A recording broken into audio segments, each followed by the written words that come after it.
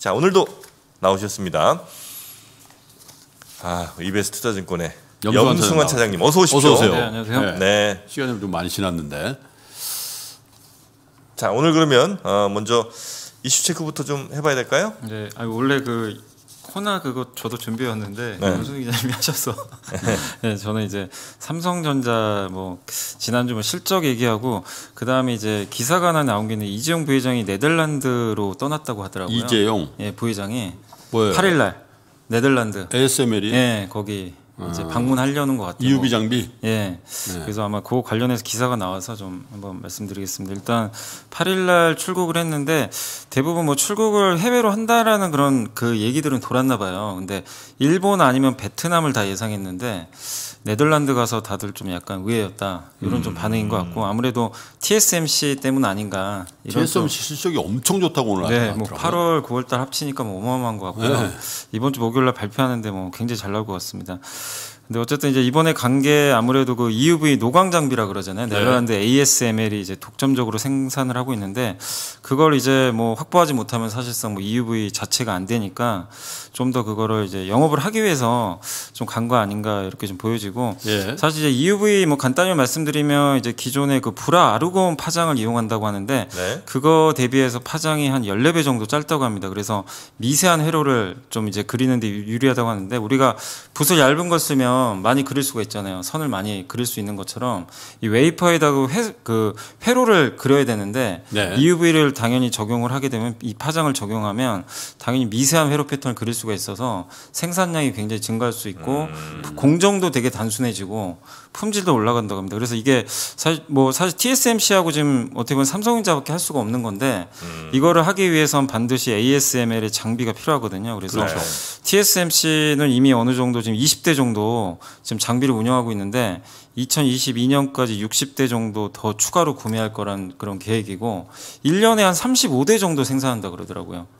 이렇게 보면 지금 삼성전자 입장에서 이제 발등에 불이 떨어진 거죠. TSMC가 저기 공격적으로 구매를 해버리면 연 35대밖에 못 만들어요. 올해 35대 정도 생산한다고 합니다. 그래요? 예. 그러니까 이게 만들고 싶다고 뭐 그냥 무한정 만들 수 있는 장비가 아니에요. 대당 가격이 뭐 2천억 하니까요. 어마어마한 거죠 이게 사실. 어, 그래서 이제 이재용 부회장이, 부회장이 이제 직접 간 것도 결국엔 좀 장비 달라고. 달라고? 네, 달라고 하려 하는 것 같아요. 그러니까 파운드의 승부를 거는 것 같아요. 확실히 TSMC랑 음. 이것만 봐도 다른 거 제껴두고 다 그쪽으로 먼저 갔다는 건 일단 일단 TSMC가 다 뭐라 그러나요? 전문 용어로 아도 찍는다고 그러나 생산량 다 가져가는 것 같은데 보니까 근데 이제 그런 얘기는 있더라고요. 이제 생산 TSMC도 공장이 있는데 무한정 다 만들 수는 없잖아요. 캐파가 이제 다 찬 거죠 거의. 가동률이 너무 올라가니까 음, 그럼 이제 고객사들 입장에서는 어쩔 수 없이 또 삼성전자에 줄 수밖에 없는 상황도 나오거든요. 네. 낙수 효과라고 하는데 그런 부분도 좀 기대해 볼 수 있는 것 같아요. 그렇게 보면 내년도 삼성전자 좀 파운드리도 한번 기대감 좀 높여도 되지 않을까 그런 좀 분석들이 있으니까 좀 참고하시면 되겠고 대단한 회사네요. 예 네? 어쨌든 직접 가야지 줄, 줄을 서시오. 어떻게 보면 참 을인데 갑 같은 을이네요 진짜. 어, 이 집이 반도체 맛집이요. 그 삼성전자 이제 실적과 관련해서 뭐 이제 주가는 좀 빠져서 좀 실망스러우시는 분들도 아, 계시겠지만 글쎄 어닝 서프라이즈였는데 그날 예, 주가가 참. 빠져버려요. LG와 LG 전자도 그러더라고요. LG 전자도 그랬고 좀 선반영됐다는 시각도 있고 삼성전자 이제 보고서 읽어보니까 대부분 이제 4분기는 좀 하락하지 않을까, 감, 이 감익하지 않을까 그런 좀 우려감 때문인 것 같은데 4분기 디램 가격이 좀 하락하지 않을 거라고 보는 의견도 있지만 어느 정도 좀 하락을 하면서 이익은 좀 줄어들 수 있다고. 네. 전통적으로 4분기가 원래 3분기보다 실적이 안 나옵니다. 그래서 그런 이제 우려감 때문에 좀 빠졌다는 얘기들도 있지만 그러나 내년을 보면 비중 확대해야 된다는 얘기들이 좀 많이 나오고 있고 네. 지난 이제 뭐 김경문 연구원님 보고서 보니까 예전에 이제 분기 영업이익이 무역 분쟁 시기에 1년 6개월 동안 이제 올해 2월까지입니다. 2분기까지 평균 7.1조 원이었대요. 네. 근데 이번에 다시 10조 원대 찍어버렸잖아요. 12조.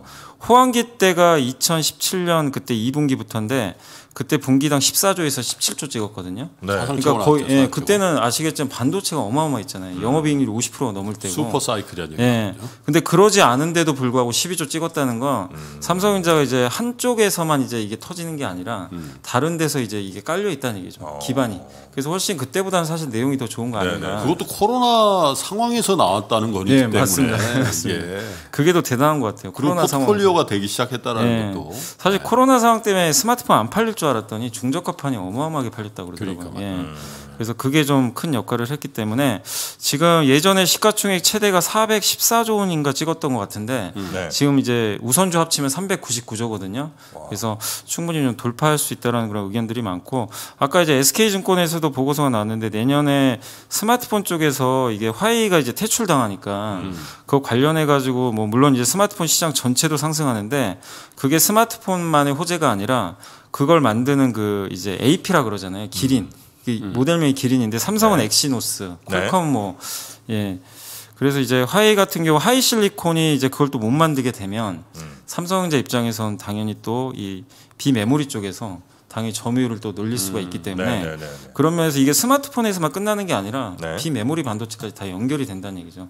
그렇게 보면 뭐 삼성전자 좀 당장 부진할 수 있다고 하더라도 내년을 보면 좀 좋게 봐야 되는 거 아닌가 이런 좀 얘기고 예전에도 한번 말씀드렸지만 그리고 4분기에 특별 배당 그것도 좀 기대를 할 수 있는 것 같아요. 일단 자사주 매입을 할지 배당을 할지 모르겠는데 9.4조 원을 일단 주주들한테 줘야 되거든요. 약속을 했어요. 3년 전에.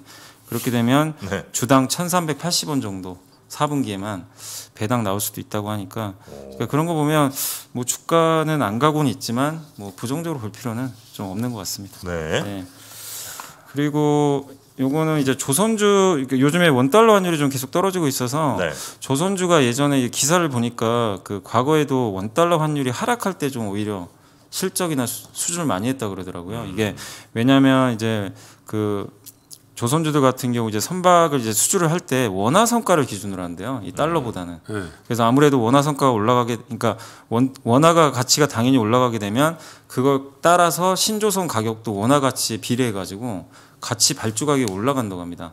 그런 식으로 구매를 한다고 하고 네. 거기다 수주량도 왜냐하면 선박 이제 발주하는 회사 입장에서는 이게 당연히 원화가 올라가게 되면 당연히 수, 이 선박 가격이 올라가게 되니까 뒤늦기 전에 그냥 발주를 하자. 이런 또 심리들이 발동을 해서 수주량도 올라간다고 하더라고요. 근데 워낙에 지금 뭐 투자 심리가 너무 안 좋잖아요. 조선업종. 네, 네. 근데 이게 원달러 환율이 좀 기폭제가 돼서 좀 반등할지 좀 지켜보시고. 근데 실제로 바- 그 수주는 좀 지난달 말부터 조금씩은 늘어나고 있습니다. 뭐 삼중이나 한국조선해양 좀 발주 늘어나니까 그 부분은 좀 체크를 해보시면 좀 좋을 것 같고요. 그 다음에 이제 증권사 보고서 중에서는 지난주 금요일 날 좀 나왔던 보고서인데 네. 지금 원 달러 환율이 굉장히 좀 큰 이슈잖아요. 미- 네. 중국의 위안화가 좀 워낙 큰 폭으로 좀 반등을 하고 있는데 위안화 그 이제 KB증권의 이은택 연구원이 쓰신 건데 위안화 채권을 향한 뭐 국제 자금의 꿈틀거림이라고 그리고 원화 강세까지 좀 이- 말씀을 하셨는데 원화 강세는 아시겠지만 이제 증시에 부정하기 힘든 게임 체인저다. 원화 강세기에 항상 코스피가 강했잖아요, 사실 예전부터. 그래서 100%라고 확신은 못하더라도 이게 만약에 추세적으로 원화 강세가 이어지면 코스피는 뭐 상상도 못한 레벨까지도 올라갈 수 있다. 그 레벨이 언젠지 언- 뭐 얼마인지는 적어주지 않았는데 네. 그렇게 좀 적어주셨고 상상도 못할 때까지는 별로 기대 안 하고요. 네. 내 상상의 한계까지만 좀 한번 내 평생 한번 갔으면 좋겠습니다. 네. 상상이 굉장히 높아요, 근데. 근데 최근에 이제 원화 강세의 원동력은 이제 위안화 강세가 좀 가장 크다. 네. 근데 위안화 강세가 지금 그 예전에 2017년에도 코스피가 2,600 터치할 때도 위안화가 그때도 강했고 올해 6월달 랠리할 때도 위안화가 강했는데 뭐그 얘기 들어보셨을 거예요. 최근에 뭐 채- 세계 3대 채권 지수에 위안화가 편입이 됐, 그 네. 중국이 편입됐다고. 네, 근데 네. 중국은 지금 10년물 국채 금리가 무려 3.15%거든요. 음. 뭐 거의 지금 꿈의 채권이라고 하는데 음. 정책 은행채 같은 경우는 4%래요. 그러니까 전 세계가 지금 제로 금리라서 국채 금리가 1%도 안 되는데 이게 우리나라 같은 경우도 지금 1.5%밖에 안 되거든요. 음. 네. 그러니까 외국인들 입장에서는 당연히 중국이 지금 최근에 경기도 좋아지고 채권 시장도 좀 더 개방되고 있고 주식 시장도 많이 개방하고 있잖아요. 금융 네, 시장. 네, 네. 그런 거 보면 주식 아- 그러니까 이쪽으로 투입을 안 할 이유가 없다는 거죠. 그러면 결국 위안화 수요가 좀 늘어나니까 장기적으로는 중국으로 좀 계속 자금이 들어가서 위안화 좀 추세적으로 음. 강할 것 같고 그렇게 되면 원화도 추세적 좀 상승은 가능하다. 그리고 이제 그런 얘기인 것쓱 같아요. 이제 채권 금리가 워낙 좋으니까 쓱 들어갔다가 옆 동네 뚝 보게 돼 있거든. 예, 맞습니다. 아, 주식이 채권 하러 갔다가 한국 주식고 괜찮네. 그잖아요. 예, 네? 맞습니다. 왜냐면 이제 옆 부서잖아. 이거 야, 내 채권 시장 들어갔더니 괜찮더라. 마이클, 너 한번 생각해 보지. 이렇게 된단 말이에요. 예, 그죠? 그럴 수 있습니다, 진짜. 네. 그 요즘에 보니까 그러니까 확실히 마이클이라 그러니까 약간 없어 보인다. 네? 더글라스. 더 골라서 골랐어. 근데 지난주에 그 정말 거기 좀 놀랐던 게 8일날 호세. 50만 개인데 외국인이 7천억 샀더라고요 하루에. 어딜요? 중국? 아니요 국내 증시 주식을요. 언제요? 하루에요. 지난주에? 지난주 하루에 네. 아 그렇습니까? 목요일 날.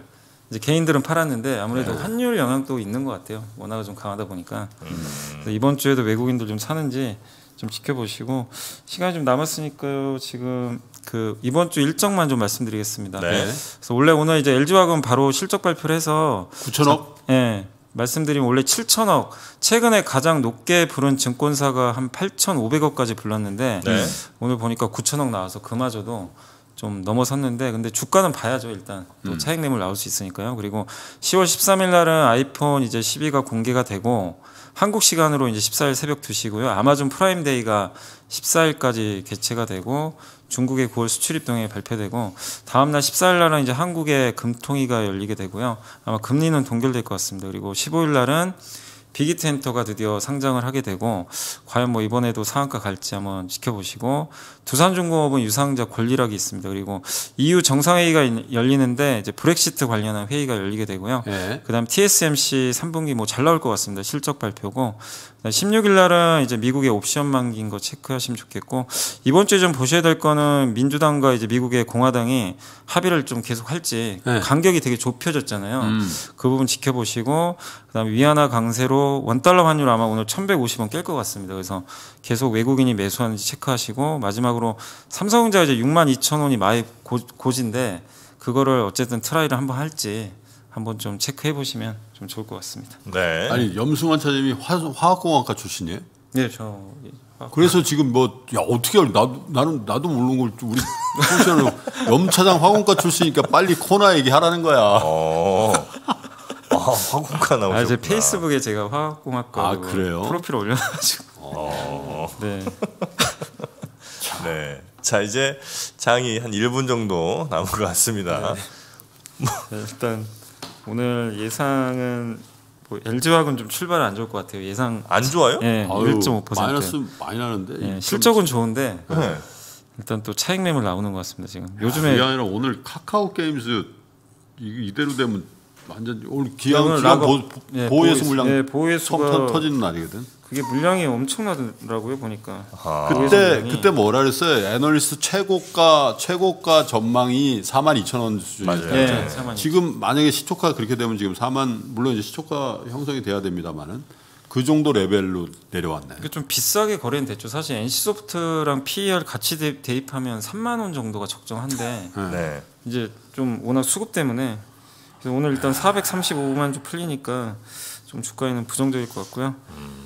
현재 이제 지수는 지금 9시 돼서 출발할 것 같습니다. 코스피가 2,406포인트 정도 시작을 좀 할 것 같고요. 코스닥 같은 경우는 874포인트 일단은 갭상승으로 시작은 좀 할 것 같습니다. 삼성전자가 지금 0.6% 하이닉스 삼성전자가 계속 좀 6만 원 안착하면서 움직이는지 한번 지켜보시고 네. LG화학은 일단 역시 실적이 좀 너무 잘 나오니까 또 차익 매물 나오는 것 같아요. 1.7% 정도 좀 하락하고 근데 아무래도 그 코나 영향은 좀 있는 것 같아요. 양사가 현대차도 같이 현대차도 빠져버리고 빠지네요. 예. 그러니까 아무래도 코나 이게 불확실성 이게 금액은 크지 않다 그래도 네. 결론이 빨리 나야 되는데 결론 나는데 좀 시간은 걸린다고 하니까 좀 불확실성 때문에 좀 빠지는 것 같습니다. 그리고 시가총액 상위 종목 중에서는 오늘 그 현대 글로비스가 한 3% 정도 올랐고요. 네. 또 한국의 강원랜드 이 카지노 회사 중에서 1단계로 지금 이제 하향 조정했잖아요. 카지노도 여- 이제 들어가나요?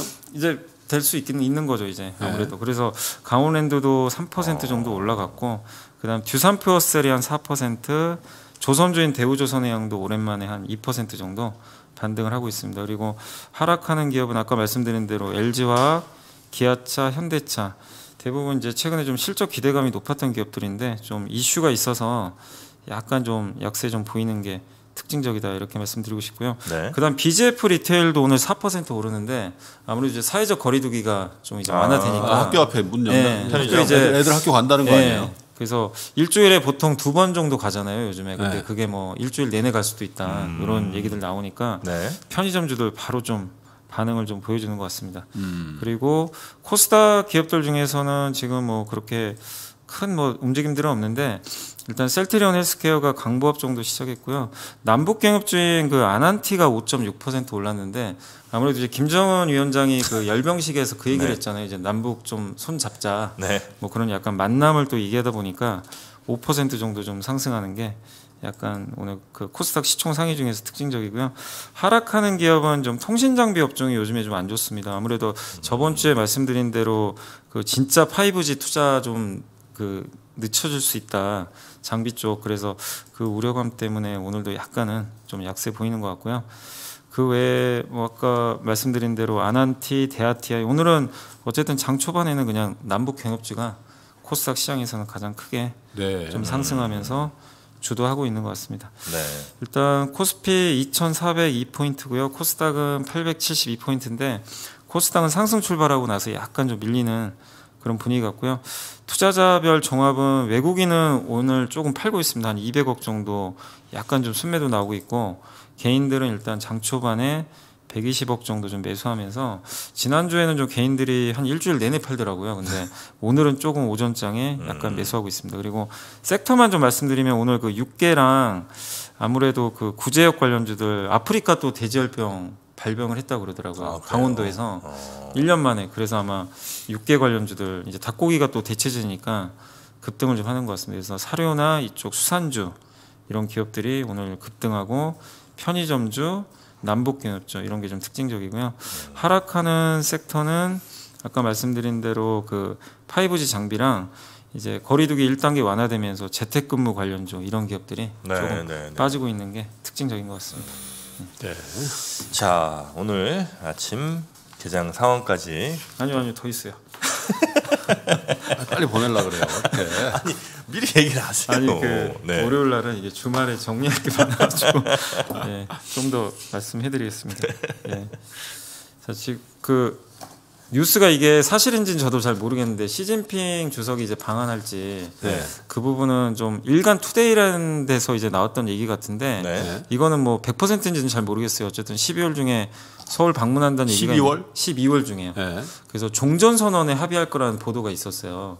근데 이게 진짜 사실인지 모르겠습니다. 일간 투데이에서 나온 보도인데 어쨌든 요건 좀 지켜보시고 근데 이걸 떠나서라도 중국 소비주는 좀 긍정적으로 볼 필요가 있는 게 그냥 데이터만 보면 요새 지표가 워낙 잘 나와요. 소비 지표가 잘 나오니까 음. 중국 소비주들은 뭐 중국 요거 시진핑 주석의 방한 여부와 상관없이 좀 데이터는 좀 긍정적이다 이렇게 보시면 되겠고 그 다음에 두산 인프라코 예비 입찰 후보가 지금 이제 선정이 됐다고 하는데 예상보다는 좀 흥행을 했다고 하니까 여기에 그 유진 기업 그 레미콘 회사도 좀 들어갔더라 하더- 하더 라고요. 그래서 네네. 좀 한번 예상 밖으로 흥행이 좀 되지 않을까 이렇게 좀 보여지고 그다음 최근에 이태리하고 프랑스에서 확진자 수가 좀 급증하고 있어서 아직까지는 좀 계속해서 그 코로나 리스크는 네. 좀 계속 뭐 전 세계적으로는 좀 이어지고 있다 이렇게 좀 말씀드리고 싶고 저번에 보니까 그 서경 서정진 셀트리온 회장님이 네. 그 환경 인베스트먼트 코리아인가요 거기서 제가 잠깐 네, 주말에 얘기 있었죠. 예, 봤는데 거기서 이제 서정진 회장이 했던 얘기는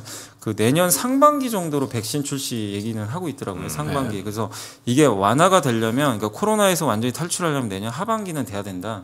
그런 좀 의견들은 좀 있으니까 네. 좀 참고는 해주시면 좀 좋을 것 같고 마지막으로 석유화학 그 4분기는 이건 이제 대신증권의 보고서 제가 잠깐 이제 아까 보고 따온 건데 요새 롯데케미칼 뭐 너무 좋잖아요. 막뭐 갑자기 석유화학 기업들이 막 급등을 하는데 네. 근데 이것도 염두를 해두시면 좋을 것 같아요. 그 대신증권에서 했던 얘기는 4분기에 이 마진이라 그러죠. 이 원재료 가격하고 제품 가격의 차이 이게 조금 하락할 수 있다는 거 그 부분은 좀 염두에 두자. 왜냐하면 지금 연간 약 1천만 톤에 해당하는 에틸렌 기준 그 증설 물량이 네. 4분기에가 이제 그 연말에 40%가 집중돼서 증설이 된다고 합니다. 그러면 약간 이제 그런 증설 부담이 있고 또 계절적 비수기가 있으니까 네. 스프레드가 좀 꺾일 수 있다는 거죠. 그래서 주가가 뭐 여기서 부러진다가 아니라 이 주가 최근에 워낙 많이 급하게 올라왔거든요. 그래서 그런 관점에서 약간은 좀 그 주가 변동성이 그 떨어질 수 있으니까 그 점은 좀 참고하셔서 대응하시면 좋겠고 그리고 그 울산에서 좀 화재가 발생했잖아요. 네, 그렇죠. 그래서 큰 화제. 아마 단열재에 대한 또 규제가 또 계속 더 이어질 수 있으니까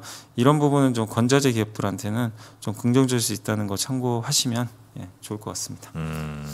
그리고 그 얘기는 혹시 제가 오늘 아침에 뉴스 3을 안 봐서 네. 모르겠는데 그 K뉴딜 그 혹시 뭐 ETF 그거 얘기 혹시 하셨나요?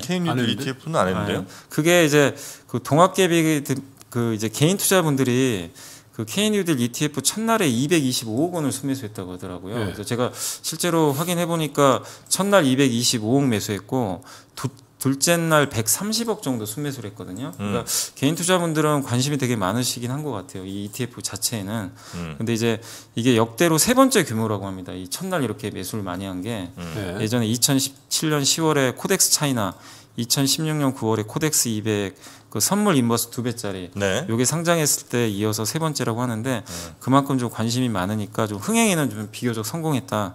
이렇게 말씀드리고 싶고 경쟁사인 삼성 자산운용은 지금 3개월 동안 이걸 출시를 못 하잖아요. 음. 근데 아마 지금 뉴스 보니까 코덱스 이름 붙여가지고 네. 개발을 하고 있다고 하니까 아마 이제 내년 정도 되면 이제 또 미래에셋 자산운용, 삼성 자산운용 이 코덱스 지금은 이- 타이거만 가능한 네, 거죠. 타이거만 가능합니다. 타이거. 그래서 내년에는 더 많은 그 ETF가 출시되니까 참고하시고 그 다음에 민간 뉴딜 펀드로 분류되는 그 NH 아문디 자산운용의 그 100년 기업 그린 코리아 펀드가 출시가 됐었는데 네. 지난달에 의외로 이것도 굉장히 흥행을 하고 있다고 그 합니다. 대통령이 가입한 그거 아니에요? 저 소부장 이거는 모르겠어요. 그 작년에 아문- 아문디잖아. 그 아- 예, 맞습니다. 아문디. 예. 근데 요거는 아마 아직은 대통령 얘기는 없는데 그 후에 이제 그 지난달에 나왔던 거고 일단 공모 펀드가 되게 지금 안 좋잖아요. 네. 자금 다 빼는데 그럼에도 불구하고 설정액이 지금 774억 원 기록하면서 순항하고 있다고 합니다. 주로 2차 전지, 수소차, 뭐 풍력에 투자한다고 하니까 일단 뭐 지금 시장 트렌드에 맞는 쪽에 투자하면서 네. 흥행은 하고 있다. 이렇게 네. 말씀드리겠습니다. 예를 들어서 그 지금 미래에셋에서 나온 타이거 있잖아요. 그리고 이제 그걸 똑같이 만든 다른 회사들 거 나올 거 아닙니까? 그럼 제가 그 종목을 미리 사놓으면 어차피 이 사람들이 사러 계속 들어오는 거 아닙니까? 그럴 수도 있는 있는데 아니, 왜, 아니, 왜 이렇게 크게 웃으시죠? 아니. 굉장히 좋은 아이디어 아닙니까 아, 이거? 네, 좋은 아이디어 같아가지고. 아, 그래요? 네. 직선 투자. 아, 그러니까 그게 네. 왜냐하면 그 ETF가 출시되면 네. 당연히 이제 거기 들어간 이번에 또 특징적인 게 이 BBIG 펀드는 그러니까 음. ETF는 보통 이제 기존에 우리가 코덱스 200이나 이런 거랑 달리 네. 아니면 기존의 테마랑 달리 기업들이 되게 수가 되게 작아요. 딱 정해졌잖아요. 네, 그러니까 몇 개 안 됩니다. 네. 그럼 이제 편입할 수 있는 종목은 작은데 네. 돈은 만약에 거기 계속 유입이 되게 이 추정하는 이제 펀드들이 들어오게 되면 네. 당연히 더 매수를 많이 할 수 있으니까 네. 그건 뭐 좋은 아이디어가 될 수 있는 거죠. 이 아이디어 생각 못 하신 것 같은데 우리 염사장님. 네, 아우 저도 참아. 참아? 참아? 미쳐요 미쳐 그럴 때는 미쳐 못했다지 어떻게 참아 아, 예. 못했습니까? 하여튼 오늘 함께 해 주신 어, 이베스트 투자증권의 염승환 차장님 대단히 고맙습니다. 네, 감사합니다. 감사합니다. 네.